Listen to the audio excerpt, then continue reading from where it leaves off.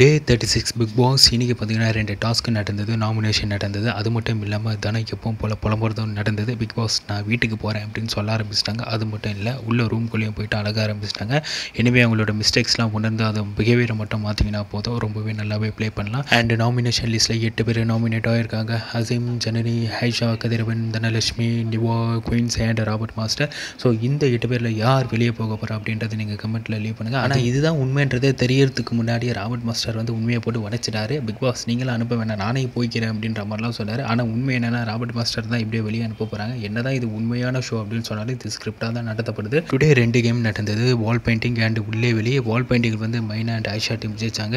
And uh, உள்ளே வெளியில் வந்து அமுதமன்னன் அண்ட் மைனா ஜெயிச்சாங்க. அண்ட் ராம் வந்து நல்லா போய் ப்ளே பண்ணார். ராமோட பாயிண்ட்ஸ்லாம் கொஞ்சம் நல்லாவே ரொம்ப சூப்பராக இருக்கு. அண்ட் கதிரவன் நல்லா இம்ப்ரூவ் ஆகிட்டாரு என்னதான் நல்லா ப்ளே பண்ணாலும் பிக் பாஸ் வீட்டில் சைலண்ட்டாக இருந்தால் தான் வெளியே அனுப்புகிறாங்க அதை புரிஞ்சுக்கிட்டு விளையாடுங்கப்பா.